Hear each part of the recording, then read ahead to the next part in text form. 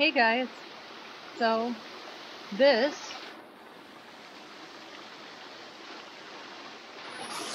is a park that's near my house. And I have used this particular location for quite a few different pieces of spell work and smaller ritual.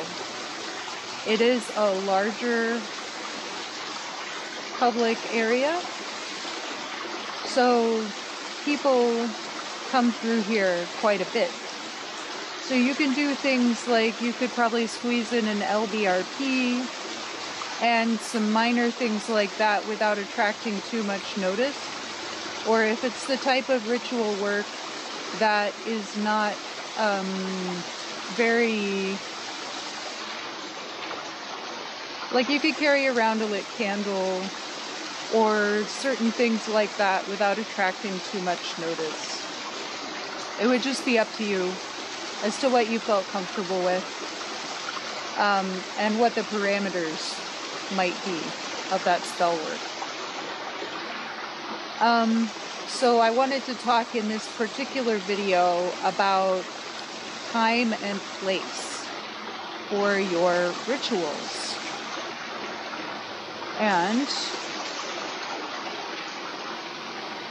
so, of course, you can see behind me this waterfall, which is a really glorious spot, actually. And this is very close to where I live right now and where I have lived previously. Um, I'm not trying to be like too obvious about those things, but you could probably figure it out if you had enough time on your hands. I mean, if you want to dox me, that's your choice. I can't stop you. I feel like that's a lot of effort to put into something like that. Anyway, whatever. Can you tell that I'm still kind of paranoid?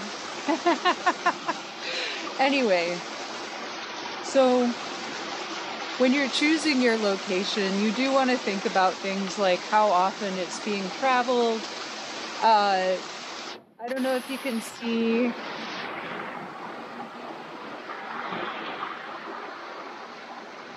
There's like a house up there, there's a house up there, there's a house up there, there's houses up here on this hill, and on their gazebo, they have clearly posted like private property so they don't want people going up there, which is fine.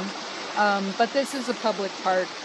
Uh, as you could see on the B-roll walking in, um, there's little posts, so trail markers. Uh, this park is not large enough to get lost in, and all of the trails are really well marked. Um, it's a very squishy time right now because it's been raining a lot but that has its advantages too. Um, especially if you're working with water elementals or if you are trying to obfuscate the presence of fire elementals for any reason. So something to consider. Um, I also have my planetary planner and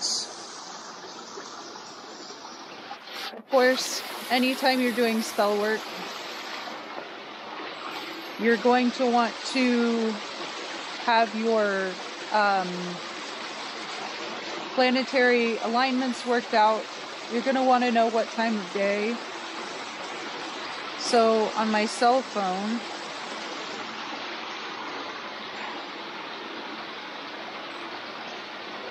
up here at the top, you can see um, I have a planetary hours app on my phone.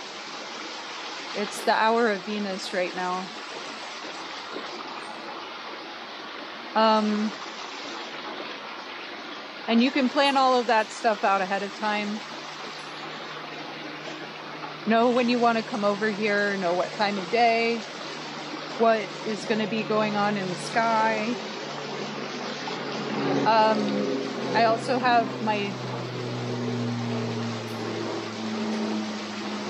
The reinforcements are coming.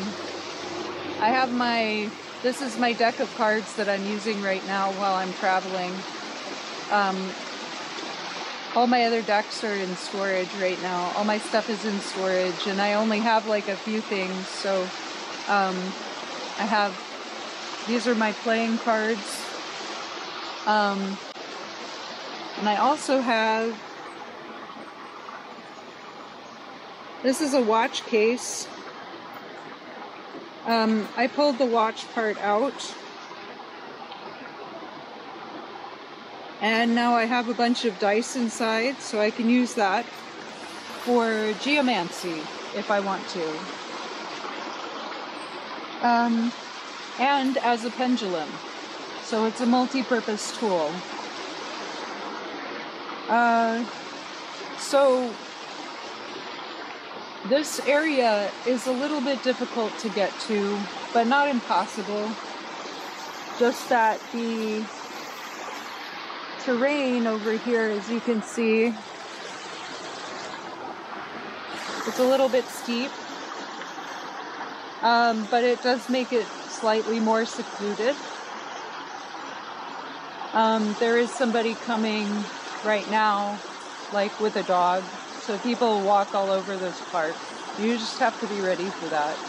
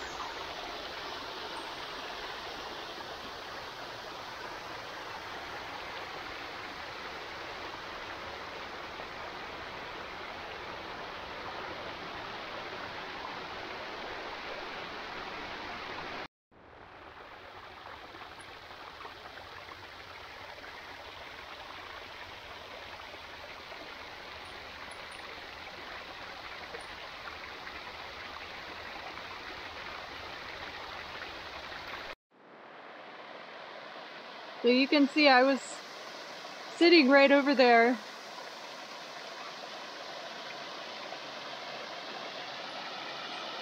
I crossed over to here. So there's a lot of mobility in this particular waterfall area too that I like. So different elemental energies that you could decide to work with. Of course, water. Earth. There is a bit of a breeze here. Um, so you could feasibly be dealing with air energies as well. There's some daffodils over there. Uh, and of course, if you were to use fire, you would want to do so uh, very carefully. Of course, right now it's very wet. Um, this particular climate is very humid and very wet a lot of the time. So um, you're not as likely to start a fire that you cannot stop. But that's no reason to be cavalier about it. There's a lot of little tucked away spots too. And this is not an area where there are a lot of um, people who are living in public spaces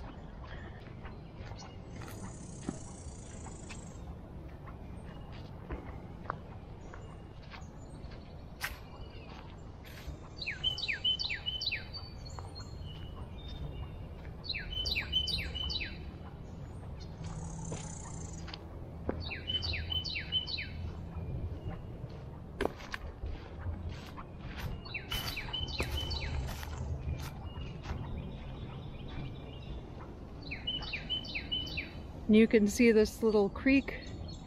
We'll go over to the lake shortly. But this is kind of like the wetlands for the lake that's kind of like over there. So I'll show you guys where that is. And this also brings up uh, the topic of ritual dress. So, sky clad I know is a popular choice. Obviously, in public spaces, you'd want to be really careful about that. But also be mindful of your locale.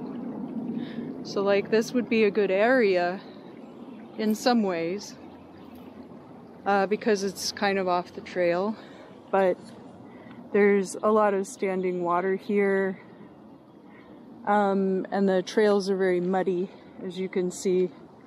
And I'm going to have to ford the creek right here. Um, so you just want to be aware of your surroundings going into the space and planning your ritual so that uh, you don't end up somewhere in cumbersome robes or something and they get all dirty and you fall down and get muddy and and everything ends up poorly because of that. Uh, it's okay to wear like sneakers during a ritual, you know.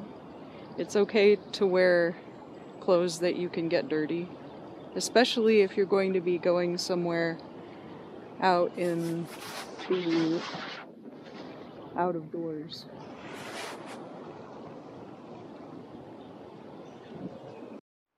There's a snarl of really good thorn bushes right here. So if you have any spell work where you want to do protective type ritual, it would be good to know where to get some thorns. So here's one angle of the lake. Um, there are a lot of good access points. Uh, bodies of water are excellent for getting rid of spell residue within reason.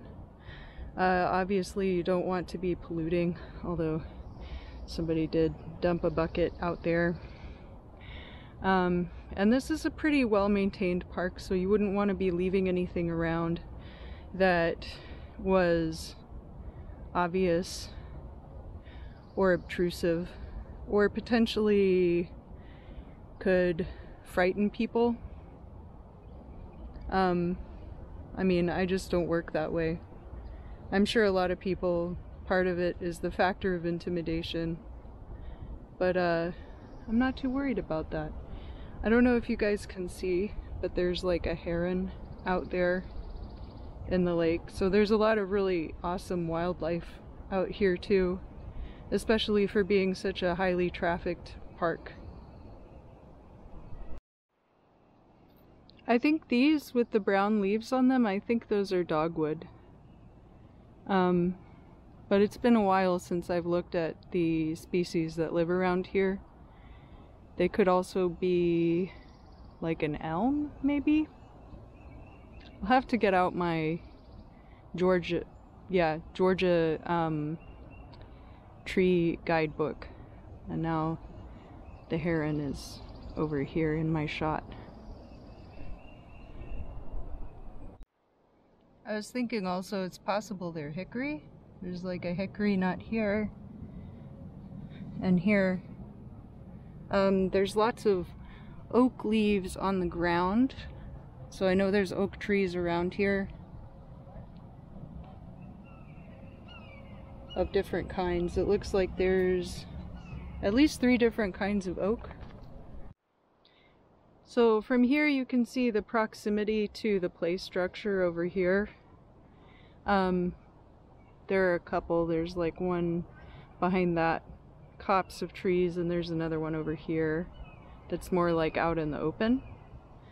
Um, so you would want to be mindful of anything that you didn't want children running upon as well if you're working in a public space such as this one. Um, there are also like like up in kind of Dunwoody Doraville area there's like a uh, abandoned um, mental institution that a lot of people frequent, but that's not as frequented by children. And then, of course, the old prison farm, which is where they're trying to put Cop City. Um, people do talk about that as a loss of green space. I, you know, there's a lot of green space here. I have my own feelings about that, and I trust you to form your own opinions. There's a really pretty holly bush right here. There's another bush up there. I think that's privet. Privet is invasive here, but um, a lot of the parks are really overrun with it. Um, and it's a lot of fun to wander through, but uh, is non-native and people are encouraged to tear it up. But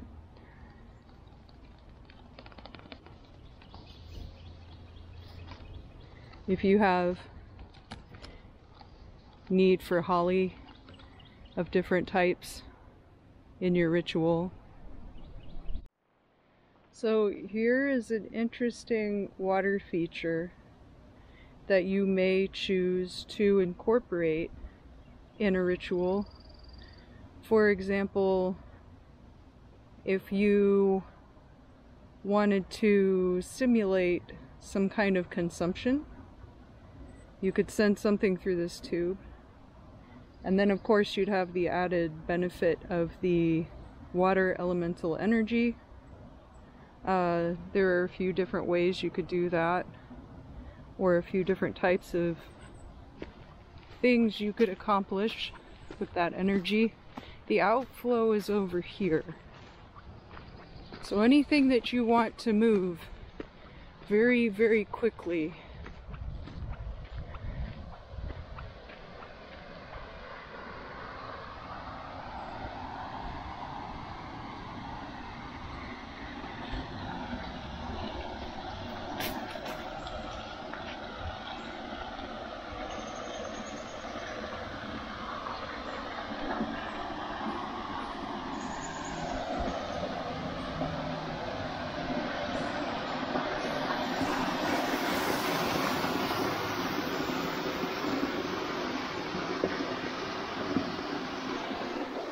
that would be the kind of energy you want to harness for that. Just some more of the, um, oh, that's my sunglasses, sorry. Uh, more of the different types of trees you have in the park. You've got lots of pine and sweet gum. There's a lot of pine here in this part of the state where I live. Uh, it is above the fall line which is where the ocean used to be. Um, and pine is actually a transitional plant. So when you're converting from wetlands to uh, deciduous forest, oftentimes pines will be an intermediary in that process. And you'll get um, an area of pine forest on the edge of the wetlands, but you have to clear out all of the privet first. So I'm aware that that turned into a bit of an ecology session, but these are all things that you can utilize when you're working outdoors. Um, and in fact, a lot of my work had previously been done outdoors it's nice to have a dedicated altar space in the home. Uh, and obviously, a lot of your energy accumulation will occur there. But as far as like opening portals, you don't necessarily want that inside your house. Um, and outdoors, the energy is going to be much more uh, mutable and transient and that can be beneficial for certain types of spell work. So let me know if you guys have questions down in the comments below. Um, if you have any uh, specific questions that you'd like answered, I'm thinking about doing a video specific to like planetary and elemental energies in relation to uh, ritual and how best to utilize those. Um, and uh, oh, there was one more thing. I was thinking about going back to doing kind of like a daily or weekly astrology report. Um, those just didn't particularly perform well, but I mean, compared to what, right? What's ever gonna do as well as the glove videos? Probably nothing, so. Uh, but um, it's good to see you guys, and I look forward to visiting again with you soon. Um, and never fear, no threshold.